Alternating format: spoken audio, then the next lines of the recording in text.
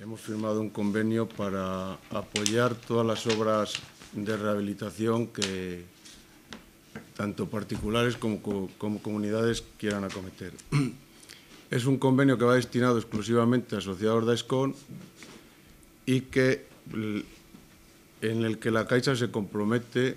siempre que las características de, la operación sean factibles,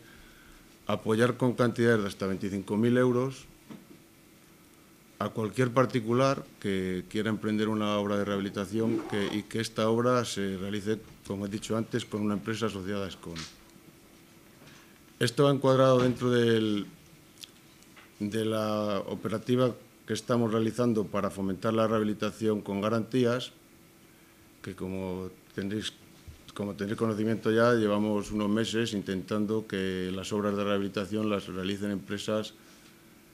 que cumplen todas las garantías legales, porque hemos detectado en la asociación que existe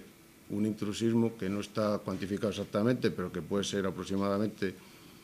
de un 15% de empresas que están realizando las obras sin que cumplan los requisitos legales. En definitiva, lo que se está haciendo es apoyar el desarrollo de la economía salmantina, centrado en este, en este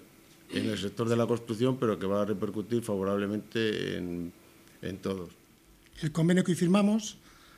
atiende de manera clara a los valores que antes he mencionado y pretende, entre, entre otras cuestiones, como ya Carlos ha mencionado, facilitar en Salamanca eh, la rehabilitación de inmuebles y entre estos muy especialmente las viviendas de uso residencial con, necesidad de ser readecuadas a condiciones óptimas de uso. Aquí me atrevo a indicar, pues, bueno, pues desde rehabilitaciones de cuartos de baño, cocinas, muchas viviendas que están ocupadas por personas de avanzada edad, que necesitan, lógicamente, que sus viviendas sean readecuadas,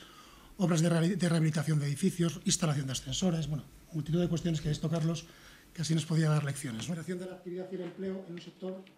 fuertemente castigado, darle el impulso necesario tanto por parte de la asociación como por parte de la